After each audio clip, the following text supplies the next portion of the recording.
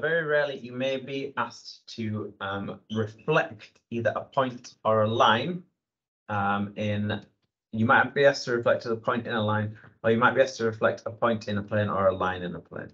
Um, so I'll look at some examples of doing this now. The first question is asking us to reflect a point in a line. So visually what this means is here we've got a straight line. We've got a point one side of the line here, which is our point A.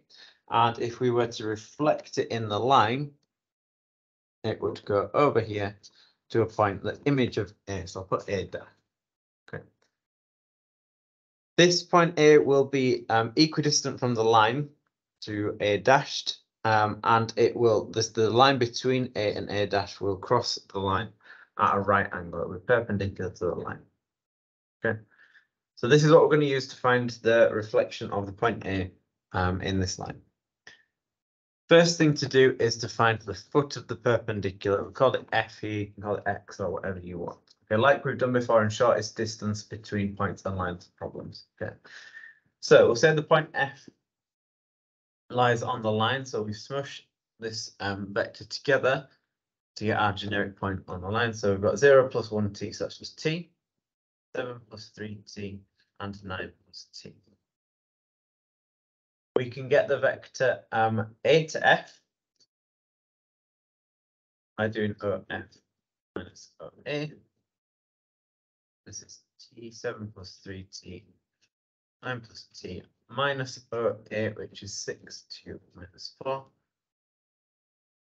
And that gives us t minus 6, 5 plus 3t, and uh, 13 plus t. This is the vector a to Once we've got AF, we need to work out T. We know AF is perpendicular to the line, so if we do the dot product of AF with the direction vector of the line, we should get zero. Do T minus six, five plus three T, 13 plus T, dotted with the direction vector, which is one, three, one, that's equal to zero, and we can get an equation in T that we can solve. So T minus six times one 5 plus 3t times 3 plus 13 plus t times 1 equals 0. Collect up your t's, so you get 11t.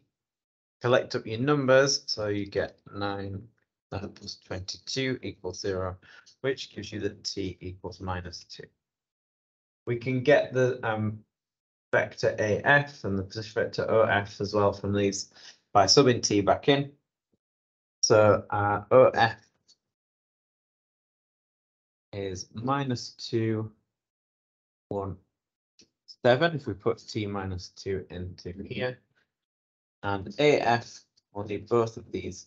Uh, we get from something minus two into there, so I get minus eight, uh, minus one, and 11. So subbing it back into then to get our position vector O to A, so the position of A, O is somewhere along here, it's anywhere, so I'll put O over here. To get from O to A, I want to go along vectors that I already know. So I can go to the point F, which we've just worked out, and then I can go along F to A dash. F to A dash is the same as A to F. It's in the same direction and it's the same magnitude, so I can just use that vector from before. Alternatively, what you could do is you could go to A and then go two lots of AF along as well. So O to A dash equals OF plus AF. OF we just worked out is minus 217. AF is minus 8, minus 1, 11. Adding those up gives me minus 10, 0. 18 for the position vector of A dash.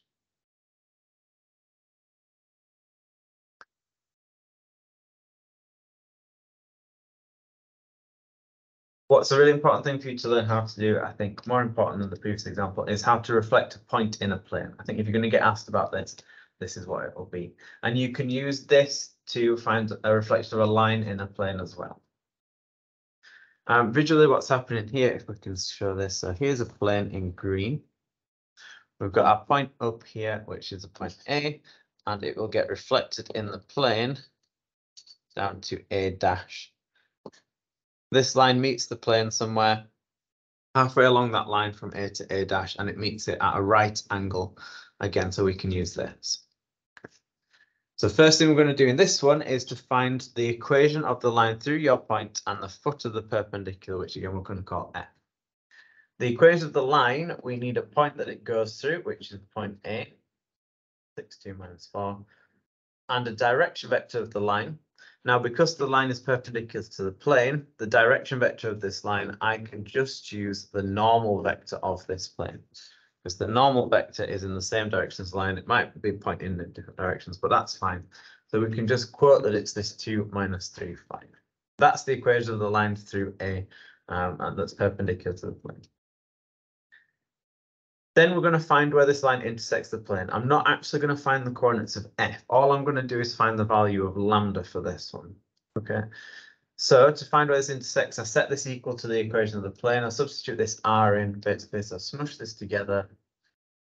6 plus 2 lambda, 2 minus 3 lambda, minus 4 plus 5 lambda. Substitute this into the equation of the plane, so I'm dotting this with 2 minus 3, 5, and that's equal to 24. This will give me an equation in lambda that I can solve. So 6 plus 2 lambda times 2 2 minus 3 lambda times minus 3. And 4 plus 5 lambda times 5 minus 4 times 25 lambda equals 24.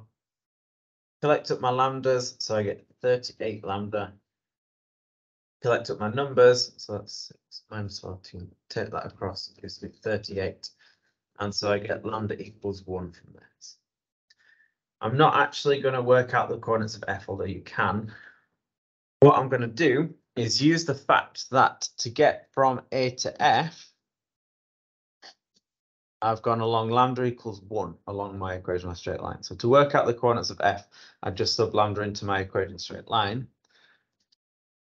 To get to A dash, I'm going the same distance again, another lambda equals 1. So overall, I'm going to sub in lambda equals 2 to get the coordinates of A dash, which saves me having to work out F.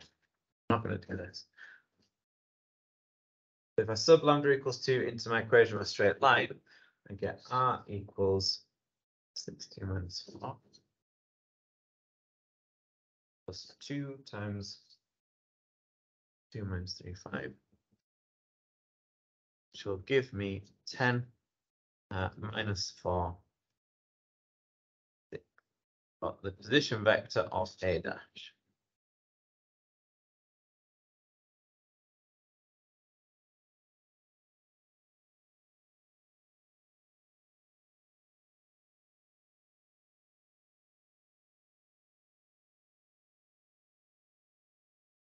For reflecting a line in a plane that's parallel to the plane, here's what's happening. So here's my plane in red.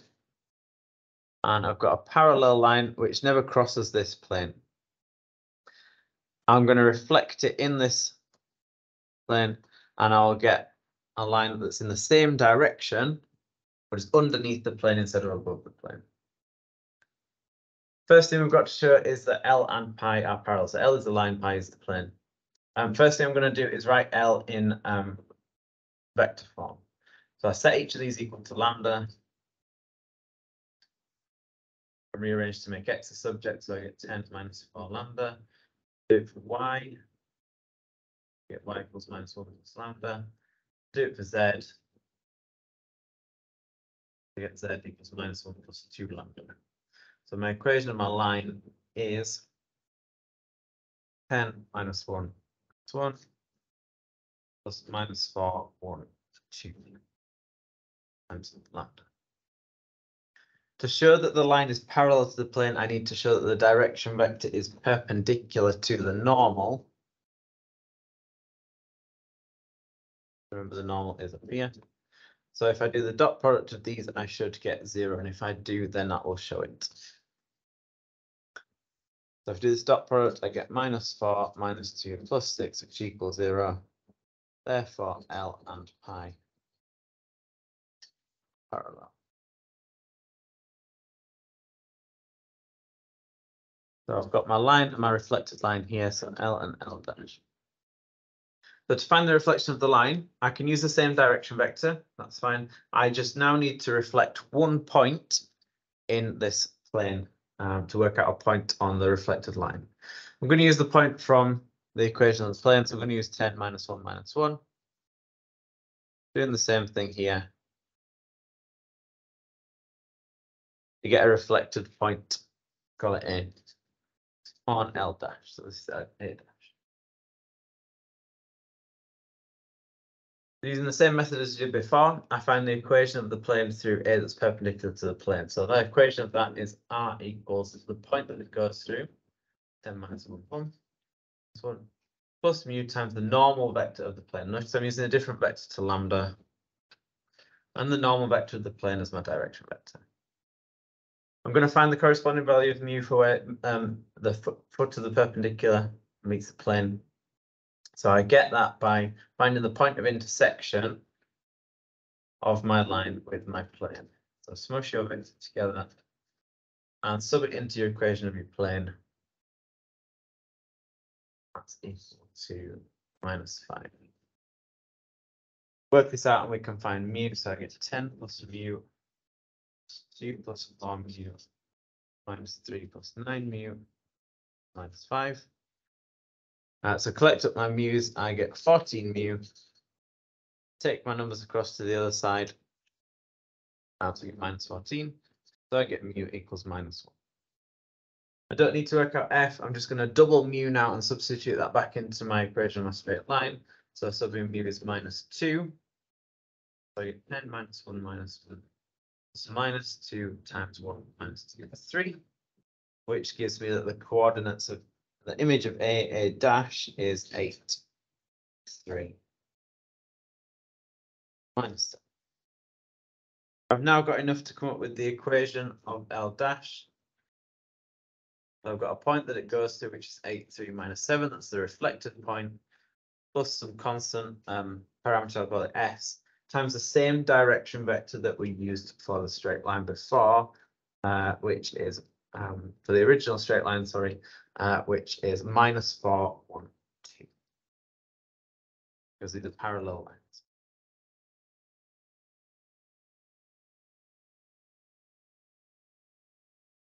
Final thing we need to do is reflecting a line in a plane that's not parallel to the plane. Here's my plane. And what's happening here is we've got a straight line that meets the plane somewhere here and we're doing the reflection of this straight line,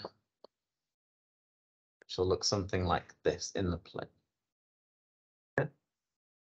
The method we're going to use is we're going to find two points on our um, reflected line and then get the equation of line through those two points. The first thing to do is to find the point of intersection of the line and the plane. So for our line, we've got r equals 1, 0, 1 from i plus k plus t times 1 to 0 from i plus 2j. And we've got the equation of our plane, which I'm going to do in normal form. Let's call it season, uh, which is um, r dot 1, 1 minus 1, 6. Point of intersection I'm going to get from smushing this together and substituting it into my equation of our plane. So 1 plus t, 2t, 1 subject to one, one minus one equals six. Do the dot product of that. Gives me three t equals six and I get t equals two.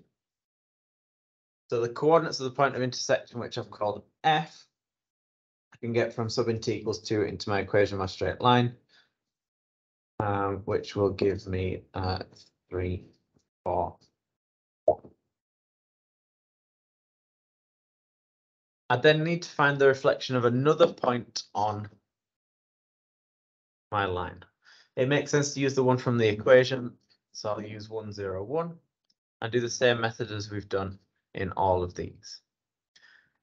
So I'm going to find the equation of the straight line through 101 that's perpendicular to the plane. 101 plus mu times the normal vector of the plane, which is 1, 1. Then I'm going to find the corresponding mu value for where that crosses the plane. So I'll find the point of intersection of this with the plane. Smash this together. substitute it into the equation of the plane. And do this. Dot product. I get one plus mu, plus mu, minus one plus mu, six. Uh, that gives me three mu equals six, and I get mu equals two. I'm gonna double this mu value. Mu equals four, and then sub that back into the equation of the straight line to get. No, don't worry about it,